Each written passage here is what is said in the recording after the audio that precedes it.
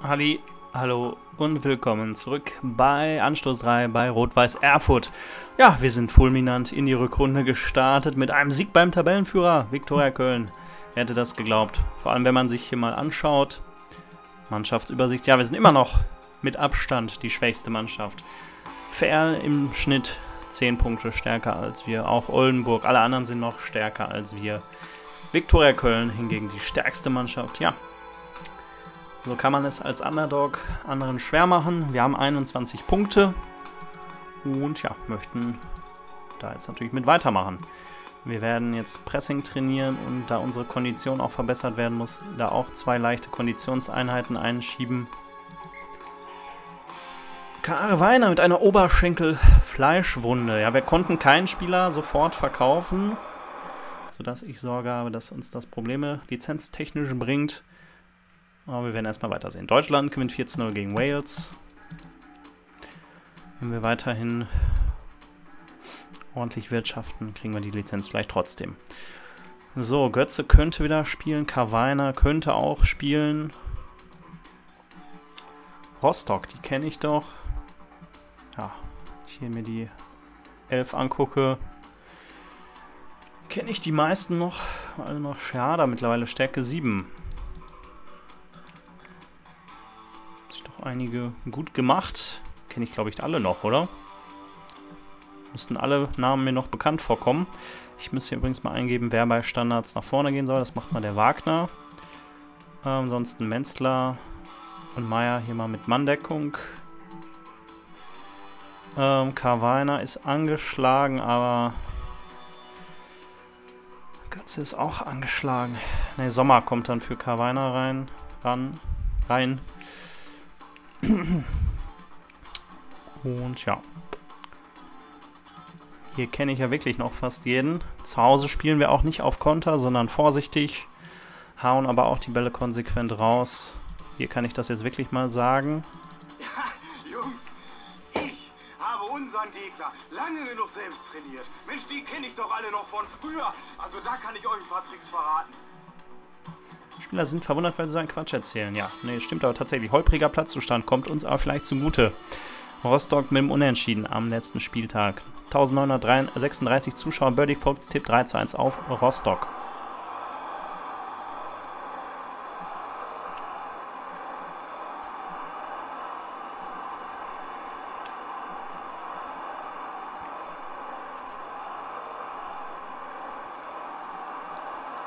Und wir gehen schon wieder in Führung. Der Dreier trifft schon wieder, hat aber auch gelb gesehen.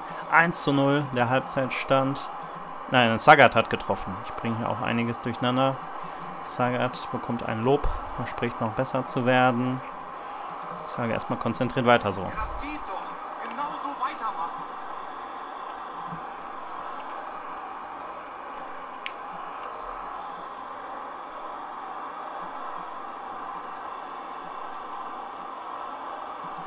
Ah, jetzt sind wir über eine halbe Stunde in Überzahl, kassieren aber trotzdem den Ausgleichstreffer durch Agnew. Dreier hat gelb. Ich weiß nicht genau. Palacios geht auf die 6. Mustafa kommt für Dreier in den Sturm. Wir haben Überzahl. Da spielen wir jetzt nicht mehr vorsichtig, sondern normal.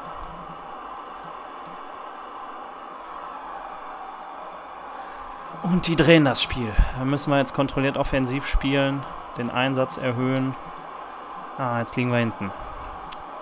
Ich bringe Carweiner für Sommer. Taktische Gründe. Und Leibold für mich. noch, da ist der Ausgleichstreffer. Saga trifft schon wieder nach Vorlage Mahi. Mal wieder ein torreiches Spiel. Gelb für Grassi. Und das Spiel endet 2 zu 2. Ich meine, wir haben fast die gesamte zweite Halbzeit in Überzahl gespielt, aber dennoch ein weiterer Punkt gegen den Abstieg, gegen eine stärkere Mannschaft. 30.000 Euro eingenommen, 8.000 Euro Prämie bezahlt. Sagat schon wieder mit dem Doppelpack oder hat er doch am letzten Spieltag auch gemacht, oder? Auf jeden Fall trifft er im Moment am laufenden Bandspiel, bekommt die Note 3 ordentlich. Wir klettern in der Tabelle von 11 auf 10, 22 Punkte. Jetzt fangen wir doch an mit der Hamsterei. In der Torjägerliste ist Sagat auf Platz 8 mit 6 Treffern. Dreier ist auf Platz 18 mit 5 Treffern. Dreier ist auch in der Scorerliste auf Platz 14. In der 11 des Tages niemand. Doch, Sagat Oder Sagar. Wie spricht man den Namen aus? Verratet es mir. So, Webb wechselt von Dortmund nach Lati. Baria von Schalke nach Braunschweig. Skokstad, haben wir den Namen nicht neulich schon mal gelesen, von Real Madrid zum 1. FC Köln. Enderle von Würzburg nach Athletic Bilbao. Koplin von Stuttgart nach Valencia. Pelinksi von Stuttgart nach Osnabrück. Sahar von Jena nach Marseille. Gerard von Bayern nach Jena. Penne von Frankfurt nach Sevilla. Jebali von Gladbach nach Real Madrid. Wir spielen gegen, ja, die Geistermannschaft. SC Verl 2. Das heißt, wir haben jetzt quasi trainingsfrei diese Woche, oder spielfrei diese Woche. Haben in dieser Woche 17.000 Euro verdient. Lizenz würden wir immer noch erhalten. Vielleicht wird das ja mit einkalkuliert, dass wir den Transferüberschuss ja quasi im Sommer bekommen. Kavaina wird besucht, auch wenn er ja eigentlich schon wieder fit ist. 69% Vorstandsvertrauen nur noch. Warum? Warum ist das gesunken? Wir haben noch einen Punkt geholt. Wegen den Finanzen oder was? So, gegen Ferl müssten wir jetzt eigentlich drei Punkte bekommen, aber ich glaube, es bekommen einfach alle null Punkte. Sodass uns das in der Tabelle nach hinten werfen dürfte aber alle anderen Teams, die, die meisten anderen Teams werden dann ja auch noch dieses Spiel gegen Ferl haben. Spiel in Anführungszeichen. Frankfurt gewinnt 5 zu 0 gegen Samara, ist damit noch nicht sicher weiter. Stehen auf Platz 2, haben aber gute Chancen. Düsseldorf verliert 0 zu 3 gegen Mailand. Leipzig verliert 0 zu 2 gegen Osasuna. Leipzig ist damit ausgeschieden. Düsseldorf ist weiter. Düsseldorf ist im Viertelfinale. In der Europa League die Hinspiele. Leverkusen gewinnt 2 zu 0 in Nizza. Union Berlin gewinnt 2 zu 4 in Pilsen. Herwagen wechselt ablösefrei nach Bordeaux. Wir spielen in Ferl, was aber... Warum wird mir das jetzt hier als Spiel verkauft? Ist doch kein echtes Spiel. Ja, bin ich mal gespannt. Ich habe ich hab mein, meinem Produktionsteam hier angeboten, um das für sie ein bisschen unterhaltsamer zu machen, jetzt noch ein paar Effekte einzuspielen, damit es so rüberkommt, als wäre es ein Spiel.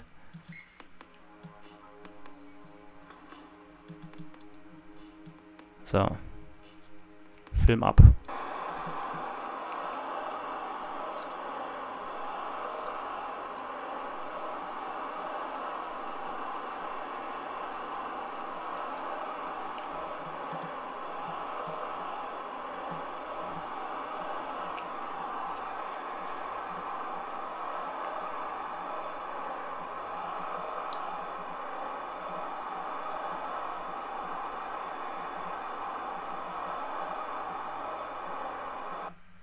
Ja, war nicht der spannendste Film. Ne? Tore gab es auch nicht. So ein paar gelbe Karten hat, hat sich unser Zufallsgenerator da ausgedacht. Aber wie Sie sehen, in die Wertung geht es nicht ein. Deswegen haben wir jetzt 18 Spiele, während die meisten anderen Teams 19 haben. 0 Punkte, fallen dadurch in der Tabelle. Aber wie gesagt, 15 weitere Teams werden ähm, 15 oder 14 weitere Teams werden das auch noch so handhaben. Warum das jetzt hier mit so, warum da jetzt eine gelbe Karte angezeigt wurde, ich denke nicht, dass die in die Wertung eingeht. Ja, und ansonsten, was, wie sich diese eigentlich spielfreie Woche auf den Zustand der Mannschaft auswirkt, das werden wir jetzt nicht im Detail analysieren. Da könnte man jetzt Studien und Analysen drüber anstellen ob das für die Spieler und deren Fitness jetzt gut war oder nicht. Ähm, wir wollen es jetzt nicht zu sehr ins Detail führen und gehen jetzt einfach weiter, tun eigentlich am besten so, als wäre nichts passiert. Ist ja eigentlich auch nichts passiert. So, hier auf anderen Plätzen ist aber was passiert. Gladbach 2 gewinnt 4 zu 0 gegen Oldenburg, Uerdingen gewinnt 1 0 gegen St. Pauli, Bremen gewinnt 2 zu 1 gegen Wolfsburg, Meuselwitz gewinnt 4 0 gegen Hannover, Reden spielt 2 zu 2 gegen den HSV, Paderborn gewinnt 2 zu 1 gegen Berliner AK, Rostock gewinnt 2 zu 0 gegen Köln und Magdeburg verliert 1 zu 2 gegen SC irgendwas. Dürfte wohl der andere SC Verl sein. Jo. Karl Zeiss Jena möchte mich haben. Aus der zweiten Liga. Den Verein kenne ich. Den kennen wir hier als Zuschauer dieses Programms bestens. Die wollen den Klassenerhalt. Was da schwierig wird. Spieler kenne ich mittlerweile dort keine mehr. Außer Toljan, der mit mir ja mal zusammengearbeitet hat, an anderer Stelle. Ja, da würde ich direkt das Fünffache verdienen. Wäre ein Idiot, wenn ich Nein sagen würde, aber ich möchte nicht einfach eine Mission so vorschnell abgeben. Mir geht es ja nicht nur ums Geld, deswegen sage ich Nein. Erstmal. So, Kalu wechselt von Victoria Köln nach Waterford. Hall wechselt auch von Viktoria Köln. Ja, die haben alle keinen Bock mehr nach der Niederlage gegen uns nach Darmstadt. Brown von Nürnberg nach Everton. Wolf von Düsseldorf nach Leeds United. Smith von Girona nach Frankfurt. Herwagen von Würzburg, Stärke 12 nach Bordeaux. Abela von Leverkusen nach Bayern München. Hartherz von Dresden nach Gladbach.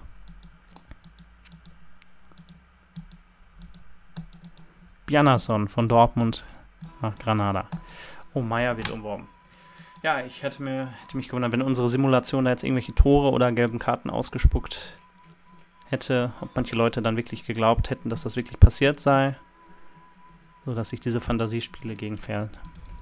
Ja, nein, die wirken sich, denke ich mal, nicht darauf aus. Ähm, oder wird sich auch nicht auswirken, glaube ich, weiß ich nicht. Auf jeden Fall haben das Spiel, dieses Geisterspiel hinter uns gebracht. Sind alle so ein bisschen konfus. Wir trainieren in dieser Woche gemischt mit einigen ergänzten Ergänzungen Radfahren, Reklamieren und Ecken trainieren wir mal von Montag bis Mittwoch. So, 70% auf einmal wieder. Warum das jetzt gestiegen ist, weiß ich nicht. Danilo Meyer wird umworben, aber eigentlich können wir die jetzt runternehmen von der Transferliste weil das ja alles erst Transfers für die kommende Saison sind. Wir wollten ja eigentlich sofort wen abgeben. Den Meier möchte ich dann eigentlich auch nicht abgeben. Die anderen streichen wir auch. Ein Kader, der so dünn ist, sollte beisammen gehalten werden. Jugendspieler zum Abwerben. Unsere Jugend sieht dünn aus. Aachen, ein riesiges Talent. Den verpflichten wir dann nochmal direkt. Die Jugendarbeit muss gebessert werden. Das machen wir aber erst zur kommenden Saison. Wir haben in dieser Woche 6.000 Euro verloren, knapp 7.000 Euro. Wir pflegen jetzt auch mal den Platzzustand. Privat. Ist im Rahmen. Bei den Fans 1% Beliebtheit. Ich stelle ihnen mal wieder Freikarten zur Verfügung, 100. Und stelle auch hier Karten gegen Magdeburg.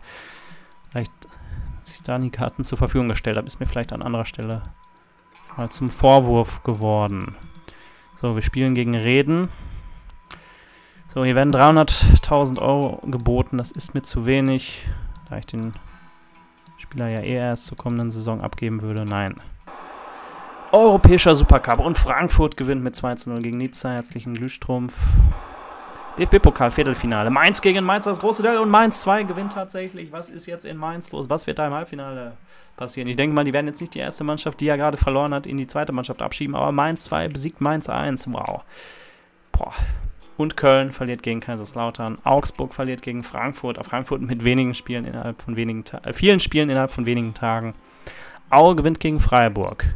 Schafft Mainz 2 es jetzt als erste Mannschaft ever den DFB-Pokal zu gewinnen? Fragezeichen. Das ist doch vorher, denke ich mal, noch nie passiert. Kaiserslautern gegen Aue. Und Mainz mit einem Heimspiel gegen Eintracht Frankfurt. Gegen den Supercup. Champions League-Sieger wird es sicher nicht einfach. Die Spielfähigkeit Kopfball ihres Spielers Danilo Meyer hat sich in letzter Zeit zurückentwickelt. Er ist in diesem Bereich nicht mehr besonders toll. Ja, weil ich ihn nicht gehen lassen wollte, aber ich glaube, er wollte ja auch nicht unbedingt wechseln, oder? So, ihr Spieler Hede Wagner hat beim letzten Heimspiel seiner Freundin Irene, das ist doch die, die ihm so viel, ab, so viel abverlangte, oder? Von dem ganzen Stadion einen Heiratsantrag gemacht, doch sie hat abgelehnt. Das ist nicht spurlos an ihr vorbeigegangen. Das war doch auch eine Irene. War das bei Wagner oder nicht? Nach zu viel Knickknack zu, zu übermut, übermütig geworden. So, Hunia und Götze können wieder spielen und nehmen zumindest Plätze auf der Bank ein. Kondition ist nämlich hier noch nicht wieder hundertprozentig da, beim Götze erst recht nicht. Deswegen Götze bleibt erstmal auf der Tribüne. Wir ändern erstmal nichts, spielen jetzt wieder zu Hause.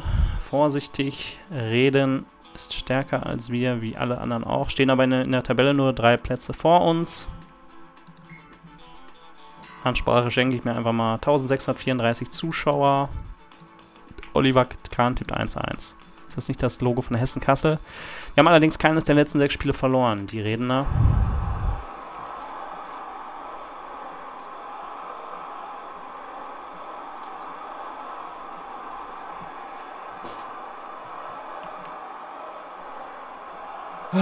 Dachte, der Meier hat es nicht mehr so mit dem Kopfballspiel. Seine Kopffähigkeiten andererseits wurden damit, glaube ich, nicht mehr. Aber er ist zumindest intelligent genug oder rücksichtslos genug, um in 27 Minuten zwei gelbe Karten zu kassieren. Das muss man auch erstmal schaffen. So, Sagat spielt nicht gut. Irgendwen müsste ich rausnehmen, aber Sagat trifft in letzter Zeit wie am Schnürchen. Palacios geht raus. Wir müssen einen Innenverteidiger bringen. Ording kommt für ihn rein. Sagat muss jetzt alleine stürmen. Der Einsatz muss erhöht werden. Jetzt stellen wir auch Abwehrriegel, einen Abwehrriegel ein.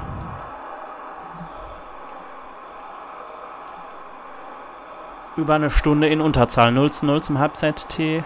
0 zu 1 das Chancenverhältnis. Batz wird gelobt, freut sich darüber. Wir sind absolut auf dem richtigen Weg hier.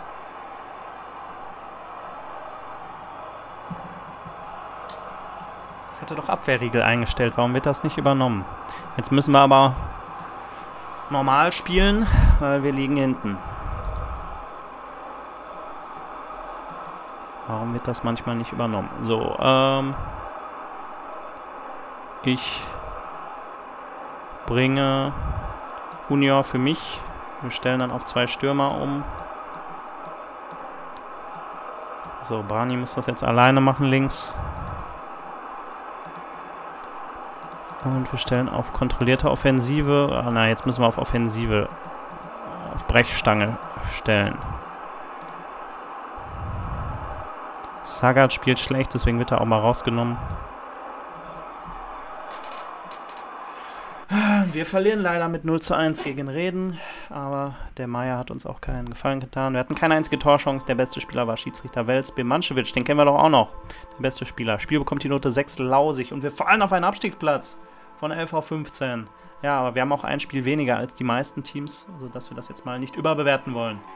Fair 0 zu 0 gegen Meuselwitz, Wolfsburg 2, 1-0 gegen Gladbach 2, St. Pauli gewinnt 2 zu 0 gegen Paderborn. Jetzt wird es auch mal ordentlich dargestellt. Jetzt können wir auch mal die Ergebnisse komplett lesen.